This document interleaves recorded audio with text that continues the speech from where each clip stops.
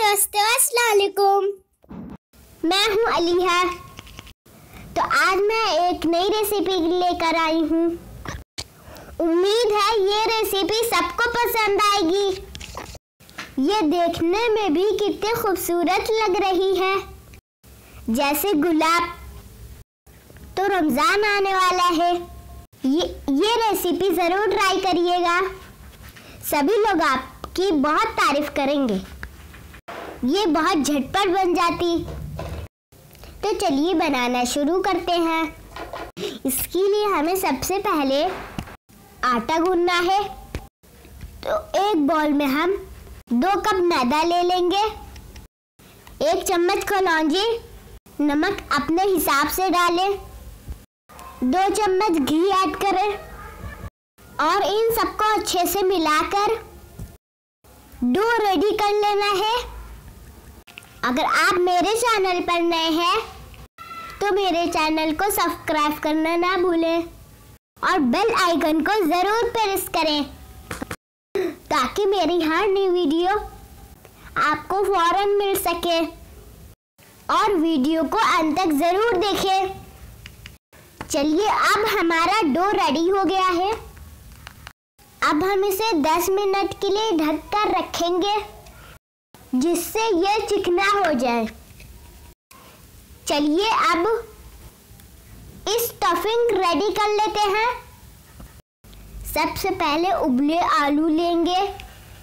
उसमें कुटा लाल मिर्च, नमक, कलौजी, चाट मसाला, ज़ीरा पाउडर और हरा धनिया डालेंगे।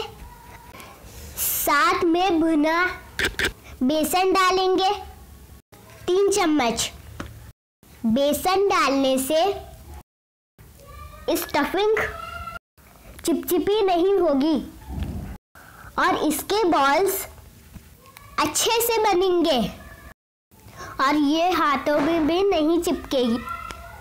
इन सबको अच्छे से मिला लें और इसके छोटे छोटे बॉल्स बना के रेडी कर लें। चलिए अब डो देख लेते हैं। तो ये हो चुका है, अब इसे हम बेल लेंगे। थोड़ा सा मैदा छिड़केंगे। उसके ऊपर लोई को इस तरह से प्रेस करेंगे।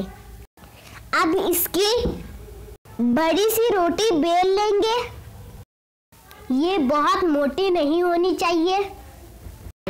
अब इसे गिलास की हेल्प से गोल शेप में कट कर लेंगे। ये रेसिपी देखने में तो अच्छी है ही। बनाने में भी इसे बहुत मज़ा आता है। अब एक्स्ट्रा आटे को हटा देंगे और पूड़ियों को अलग कर लेंगे। अब हम इसके किनारों पर मैदे और पानी का घोल लगाएँगे, जिससे ये आसानी से चिपकेगा। अब हमें इसको चारों तरफ़ से कट लगाने हैं। ये ध्यान रखिएगा कि कट इस तरह ही लगाइएगा, बीच का हिस्सा छोड़कर, क्योंकि बीच में पोटैटो बॉल्स रखने हैं। तो ये देखिए मैंने किस तरह से कट लगाए हैं। अगर आपको मेरी वीडियो अच्छी लगी हो तो लाइक कमेंट शेयर करना ना भूलें। और कमेंट करके हमें बताएँ कि आपको ये रेसिपी कैसी लगी। चलिए अब इस तरह फोल्ड करना है। लाइन से एक के बाद एक, पत्ती को इस तरह से पोटैटो बॉल्स पर चिपकाते जाए। हमने जो मैदे का घोल लगाया था, उसकी वजह से आसानी से ये चिपक जाएगा। देखिए, लग रहा है ना गुलाब की तरह। देखने में बहुत ही खूबसूरत और खाने में भी मज़ेदार। तो चलिए सारे रोज को इसी तरह से तैयार करके रख लेते हैं। ताकि फ्राई करने में आसानी हो सके। और आप इसे अफतारी पे एक दो घंटे पहले ही बना के फ्रिज में रख सकती हैं।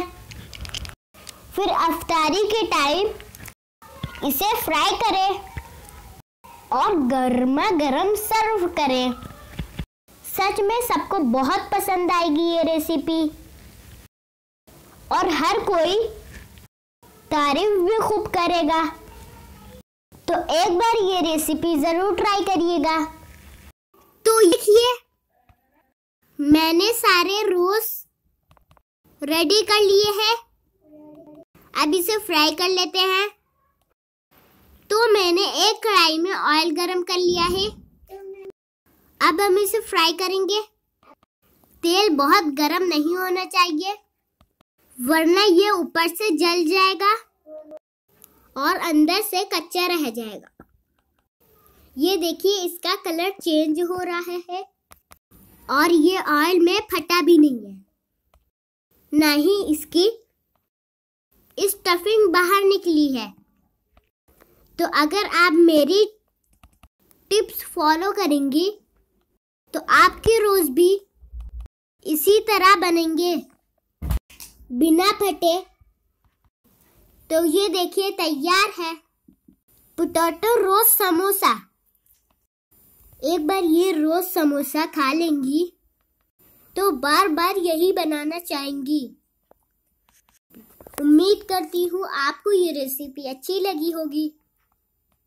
तो रमज़ान में इसे ज़रूर बनाइएगा।